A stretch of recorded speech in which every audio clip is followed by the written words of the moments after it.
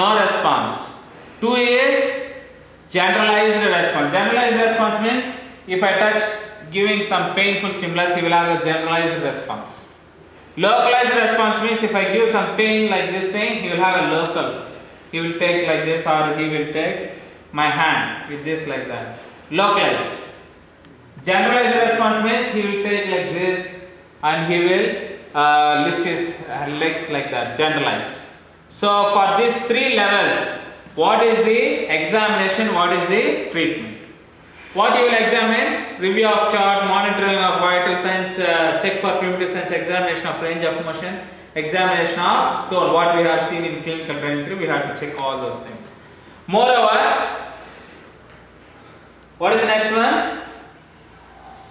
Goals. Goals we have seen. What is the intervention we will see?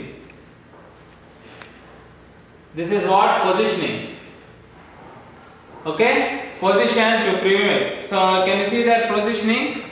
Can you get that one? This is what T splint. See, there are two types of posturing. Keep it like. There are two types of abnormal postures. If person is having head injury, there are two types of postures. One is decorticate, the other one is decerebrate. Understood? One is decorticate rigidity, the other one is decerebrate rigidity. Decorticate rigidity, the person will be in flexion. The person will be in flexion, upper limbs will be flexed like this. In case of decerebrate, it will be in, all will be in extension like this. Okay, so decorticate, decerebrate. Decorticate means you know middle of longata, uh, midbrain, Yeah. midbrain. If there is lesion below the midbrain or at the level of midbrain, decorticate. If it is above that, if it is above that, then we will have an decerebrate. Understood?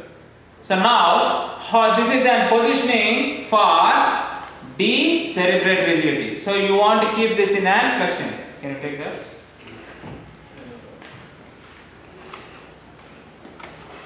Yeah, keep it.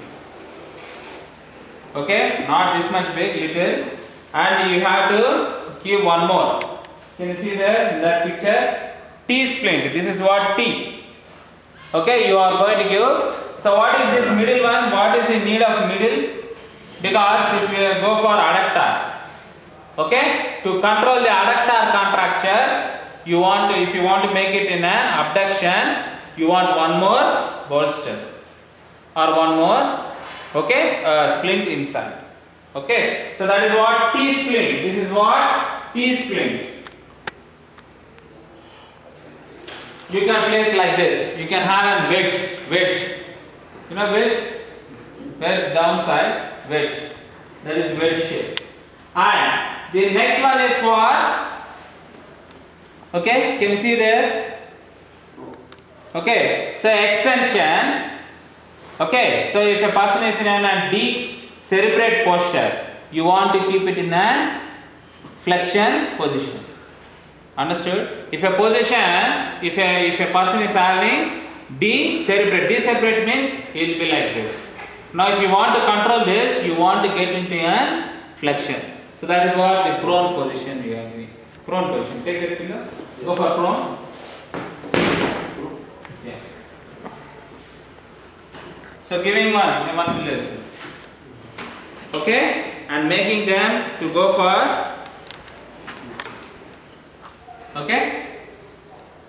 Understood? This is for decerebrate. So keep in your mind if I ask you in your exam, position the patient for decorticate first two. First two. If I ask you to position a person for decerebrate, this last one. Okay? This is for decerebrate rigidity. Now, how does the position? How to position?